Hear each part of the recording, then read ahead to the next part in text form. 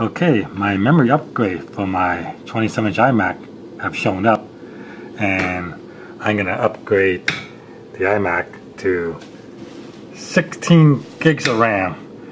By default, the iMac comes with 4 gigs and upgrading to 16 gigs normally costs a thousand dollars if you buy it from Apple. That's way too expensive. So what I did was I ordered four 4 gig sticks of Corsair memory from Amazon.com for about $70 a stick. So $280 versus a thousand bucks. Big money savings. Another thing to note too is Corsair does sell these RAM in a pair of kit, like they sell them together as a kit. And but when you buy them together as a kit, it's like a it's like a $180 as a kit. Where if you buy them separately, one unit, one unit, it's only 70 bucks each. So if you're going to upgrade your RAM, I just recommend you buy individual stick instead of a pair. So let's uh, install the RAM and see how it looks. Okay, the um, the memory sockets are underneath this panel on the bottom of the iMac. And to take them off, all you gotta do is just use a screwdriver and we move the screw. One in, the, yeah, one in the center and one on the side and one on that side and it comes right out right Sally? Yeah.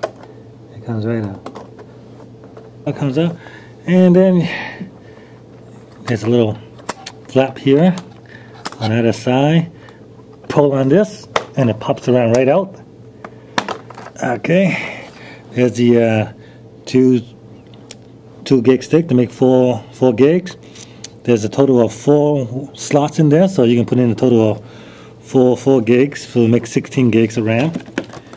To make sure the RAM goes in the uh, the right way, you notice that there's a notch that only goes one way. Just line up the notch, and that's how you go in. So I'm gonna go ahead and install Daddy, these sticks can now. I screw it in? Yeah, you can screw it in afterwards, Sally. I can After. use this to screw it in, okay? Yeah.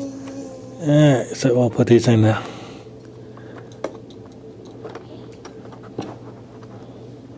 Hmm. There's one. This is actually pretty easy. Just push them in. That's two. Okay.